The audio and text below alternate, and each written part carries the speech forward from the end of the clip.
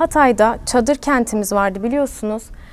O çadır kentteki tüm hizmetlerimiz son sürat devam ediyor. Şimdi o haberin detaylarına gidelim. Antalya Büyükşehir Belediyesi ekipleri 6 Şubat pazartesi günü gerçekleşen deprem felaketinin hemen ardından deprem bölgesine giderek çalışmalarına başlamıştı. Bu kapsamda Hatay'da kurulan çadır kent ve mobil aşevi depremzede vatandaşlar için hizmetlerine devam ediyor.